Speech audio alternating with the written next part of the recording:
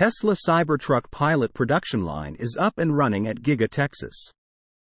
Tesla shared a never before seen look in at the Cybertruck pilot production line at Giga Texas today. The Tesla Cybertruck was unveiled in late 2019, and after delays for several years, the automaker is finally ready to start production.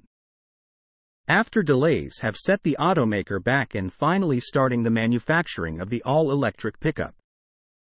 It appears that after months of tracking action at Giga Texas, including the delivery and installation of production equipment for the Cybertruck, early pilot lines have finally been established and are building early production models.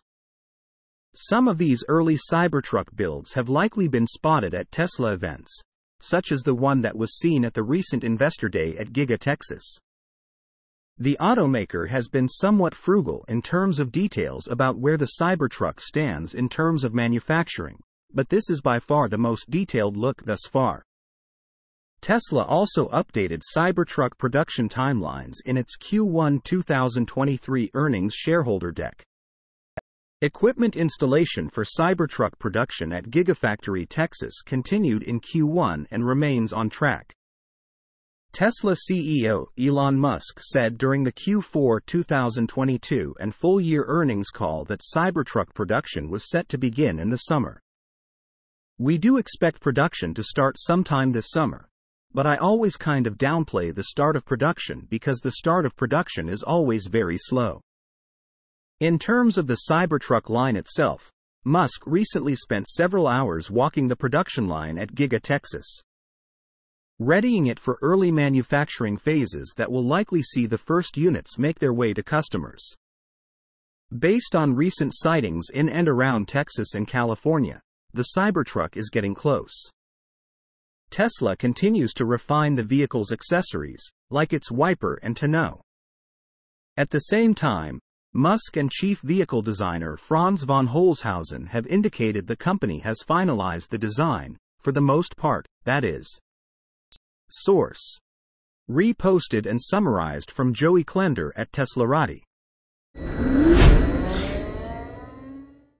Estimated Tesla order backlog slightly decreased. The estimated Tesla global electric car order backlog remains relatively stable in early 2023, with slight signs of a decrease, which would indicate that supply slightly exceeds demand.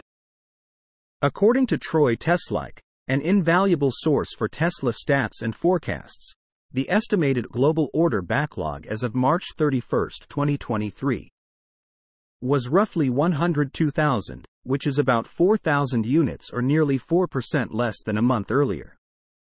The numbers are based on carefully tracked Tesla related stats production volume, average wait times for each model, as shown in the attached tweet. The number of 102,000 units corresponds to about 28 days of manufacturing capacity, down two days in a matter of one month, according to the report. Those are still minor moves, but if we consider the recent price reduction in the United States two times in April and in Europe by as much as 10%, it seems that Tesla is trying to make the cars less expensive to increase volume. For reference, here are the numbers for previous periods wait times. March 31, 2023, 102,028 days. March 16, 2023, 103,029 days.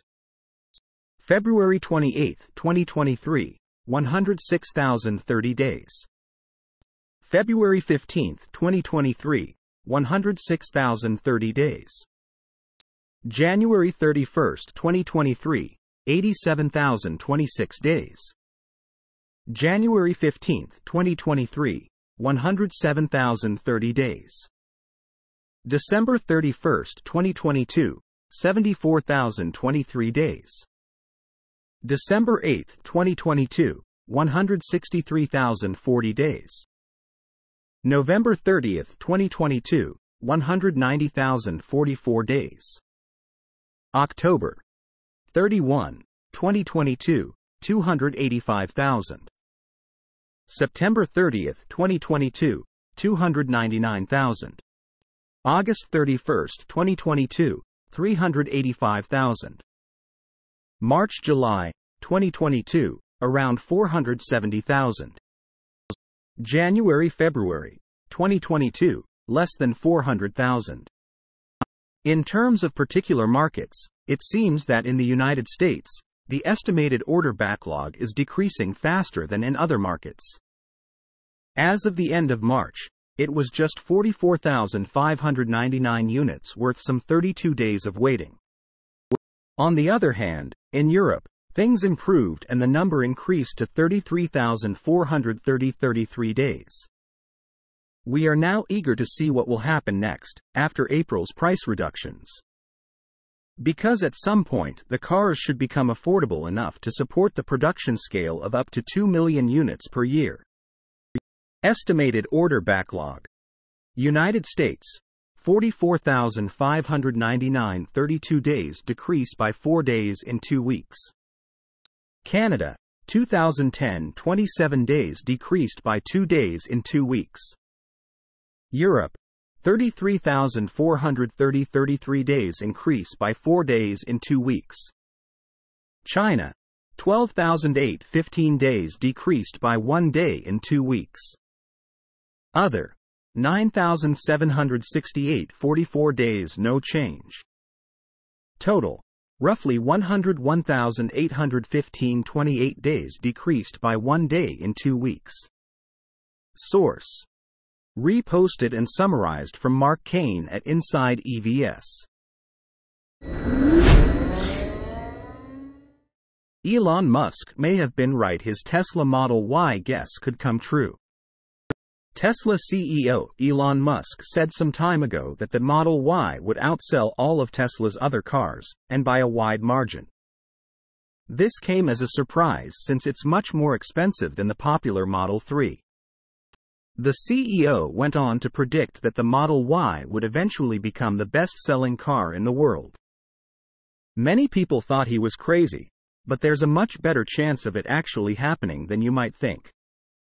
When the Tesla Model Y first debuted, it was a bit of a disappointment to many people. The entire unveiling ceremony revolved around the history of Tesla, and the electric crossover was barely present. When it was finally shown, it wasn't shown in great detail, and there was no look at the third row. All you could really tell was that it wasn't much more than an inflated Model 3. That said, the Model Y has been selling exceedingly well across the globe. In fact, it already made some top sales lists in 2022, and Tesla's sales stand to be much stronger in 2023.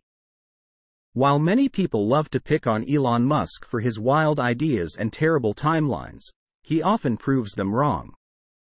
Sure, there are some promises Musk has made that have come true very late or still not come to fruition, but many of his dreams people doubted years ago are already a reality. If all continues to move forward as it has thus far this year, Musk could have another I told you so moment. According to Electrek, Musk said in 2016 that the Model Y would create demand for 500,000 to 1 million units per year and eventually become the world's best selling passenger car of any kind. Keep in mind, it didn't even come to market until 2020.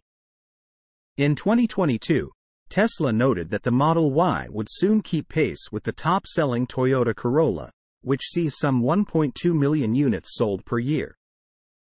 Tesla could inform us during its upcoming earnings meeting that the Model Y is already on track to become the best selling car in the world as early as this year. It topped all rivals in China, the world's biggest automotive market, for Q1 2023. Meanwhile, in the world's second largest car market, the US, early data points to the Model Y being the best selling passenger car for the quarter. The Model Y is also breaking sales records in many European markets, and Tesla has ramped up its production at Giga Berlin to 5,000 copies per week. Tesla is also ramping up production at Giga Texas while constantly making tweaks and upgrades in Fremont and Shanghai. Tesla aims to produce some 1.8 million EVs globally in 2023, though Musk has said the company could possibly achieve 2 million. If everything falls into place as planned, the Model Y has a very good chance of being the best selling car in the world. Source Reposted and summarized from Stephen Loveday at Inside EVS. Tesla and other EV makers could disrupt U.S. agricultural market. With electric vehicles gaining traction in the U.S. automotive market, some analysts are wondering if Tesla and other EV makers could significantly disrupt the demand for corn. For agricultural machinery manufacturers like John Deere, this could spell trouble for the future of ethanol. Especially given the latest climate targets in the U.S., Deere could be threatened by weakening corn and ethanol demand in the coming decades, as climate goals prioritizing EVs continue to gain popularity, according to a report from Barron's. While Tesla and major automakers pivoting toward an EV future aren't specifically targeting Deere or ethanol demand with their business strategies. A decreasing need for the fuel seems a likely outcome of U.S. goals for EV adoption. In recent weeks, President Joe Biden and the Environmental Protection Agency put forward a proposal to require two thirds of new car sales to be electric by 2032.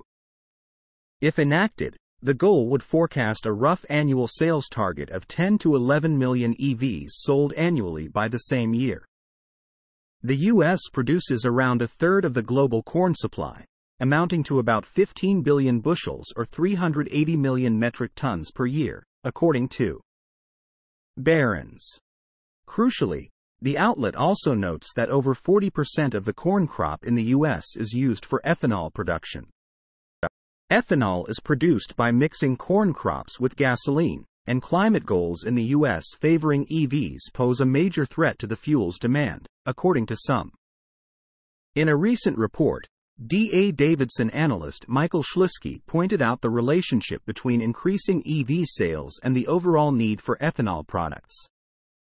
This week's new EPA greenhouse gas rules for cars almost mandate a much faster EV adoption curve than many thought. Shlisky said.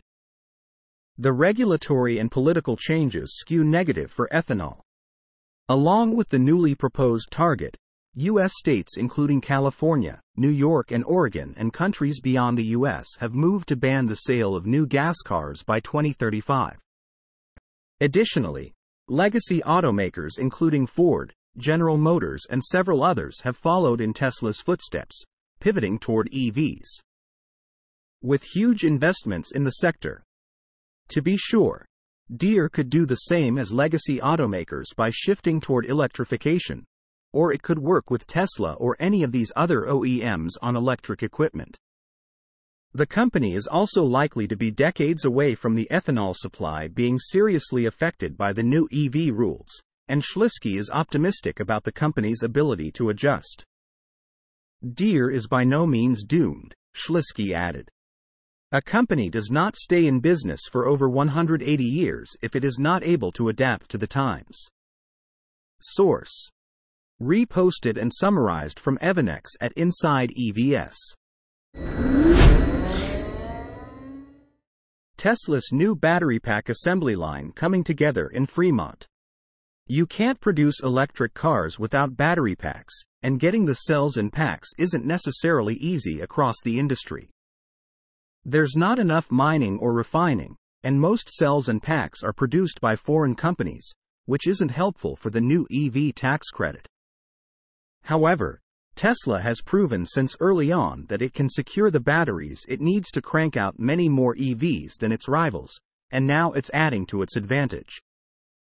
We reported some time ago that Tesla was planning a new battery production line to be located on the second floor of its original factory, in Fremont, California. The information was available in various local filings, which were discovered and shared by Teslarati. The publication also shared that the line is Tesla's second battery related project at the factory. The EV maker is reportedly also constructing an initial Cybertruck battery pack line nearby.